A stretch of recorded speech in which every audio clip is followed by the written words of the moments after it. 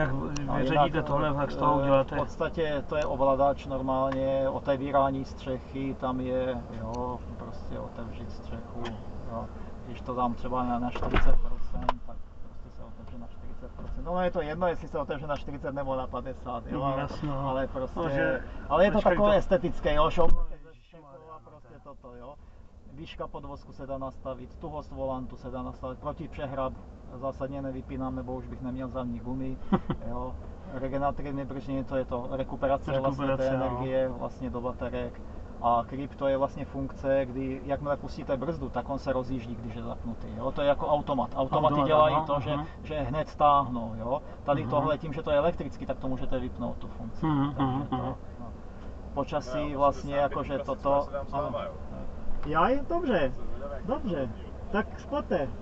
S čím bude jezdit? Akorát, akorát vy budete prázdný a já tady mám další dva lidi, nebo aspoň to vyrovnáte, jo? Dobře. Co máte auto? 85 jako klasy, já mám 85 performance, to je jako kdyby To výkon chci motoru. zkusit, no, On má, normálně má zrychlení z 0 na 100 za 5,6 sekund. Jo, a vlastně já mám z 0 na 100 za 4,4 sekundy. Ale samozřejmě, když jsme tady dva, tak to bude možná 4,6. Jo, nemluví o tom, že prostě před chvilkou jsem to čtyřikrát za sebou No točil, právě. tak ten motor se trošku zahřeje, takže. A kolik, máte nějaký stanovený dojezd, nebo tady to všechno Jo, někde 200, píšete? 231 kilásku ještě zbývá. Ty bro, takže kolik no. má dojezd jinak, když se to nabíje?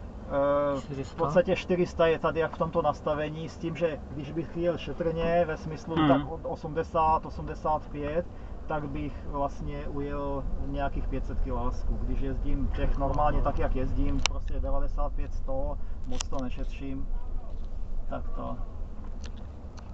To je čtyřmístný nebo pětimístný? tak, Vím, že to je no. sedmimístný, To to to Jakože max je 7 míst. No. Tady to?